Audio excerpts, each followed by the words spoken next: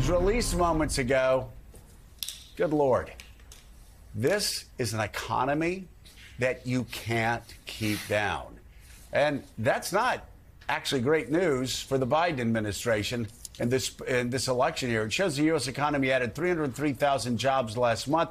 Economists had expected the number to be closer to 200,000. To talk about it, let's bring in co-anchor of CNBC's Squawk Box, Andrew Ross Sorkin, NBC News business analyst and a host of the 11th Hour, Stephanie Ruhle, and a host of a podcast on brand with Donny Deutsch, Donny Deutsch, and president of the National Action Network and a host of MSNBC's Politics Nation, Reverend Al Sharpton, and Katty Kay with us as well. All right, Andrew.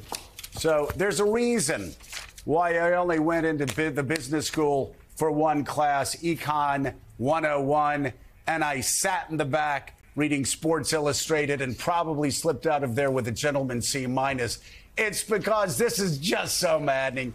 In, in economics, good news is bad news, bad news is good news. And I will admit, I was sitting here hoping that number was going to be a little bit lower so we could get those interest rate cuts and so right. this economy would cool down. Man, you know, you I'm can't not, you can't cool this economy down, Andrew, can but, you? But to some extent, that's a good news is good news story because it means that we have more people coming into the workforce than before, and yet we're able to actually now have lower unemployment numbers. Uh, you're having higher wages. You're finally having uh, wages that are outstripping uh, inflation, which is a, a good trend line, um, right. especially when you think about some of the the political dynamics that that represents.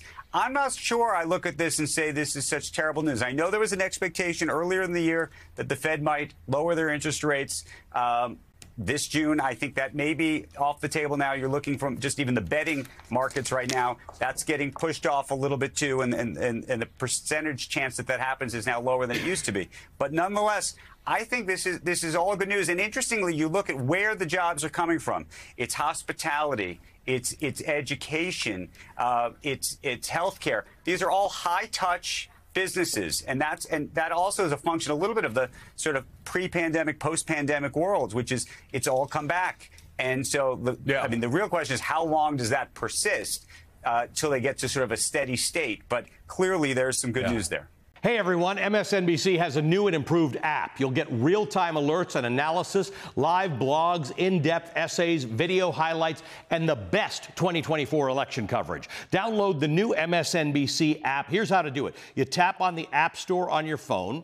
You hit search on the bottom right corner. You type in MSNBC. You click on the MSNBC app. You click on Get or the cloud icon and enjoy it.